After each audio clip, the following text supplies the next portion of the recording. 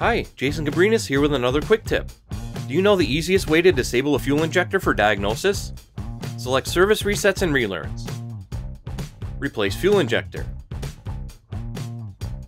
Great, the tool's already checked for you and there are no relevant OEM recalls, TSBs, or campaigns for this job. If you have a Snap-on repair information subscription, link to repair information right from the tool. Select Fuel Injector Replace. Scroll down and select Wiring Diagrams. Here you see the pre-highlighted wiring diagram for the fuel injection system. Return to Scanner and select Functional Resets and Calibrations.